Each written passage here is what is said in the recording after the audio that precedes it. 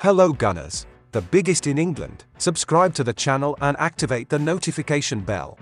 So, you don't miss the latest news from Arsenal, and leave your like. Edu sends public message to Brazil star he really likes amid Arsenal transfer admission. Arsenal continue to draw up plans ahead of the January transfer window with a central midfielder set to be a priority. Arsenal sporting director Edu is watching the World Cup take place in Qatar with a keen eye on potential transfer targets to sign in January.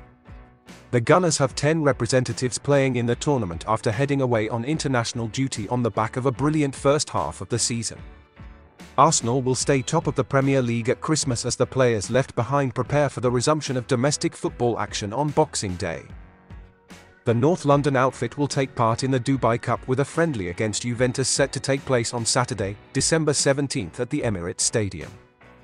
One star at the World Cup that Edu has openly admitted to being a fan of in the past is West Ham and Brazil midfielder Lucas Paqueta.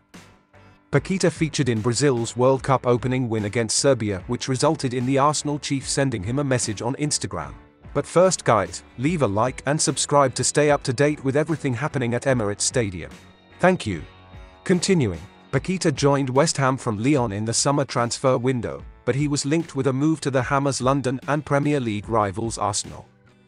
Edu told Brazilian news outlet TNT Sports in July that he really likes the midfielder, and that he is a big fan since long time of his Brazilian compatriot. Paqueta posted a picture from the 2-0 win against Serbia on Instagram, expressing his delight at making his World Cup debut after enjoying a strong performance for Tite's side. Edu commented on Paqueta's post, saying, up, and one love heart emoji. Paqueta has made seven starts and one substitute appearance in the Premier League for West Ham so far this season, providing two assists in the process. Whilst a move looks doubtful in January, Edu continues to keep tabs on the Brazilian star and may look to complete a deal for the 25-year-old in the future. A new fan, would you like Paqueta? or not? Comment. Your comment is very important to Arsenal. Stay up to date, on everything happening with our great Arsenal. Until the next video.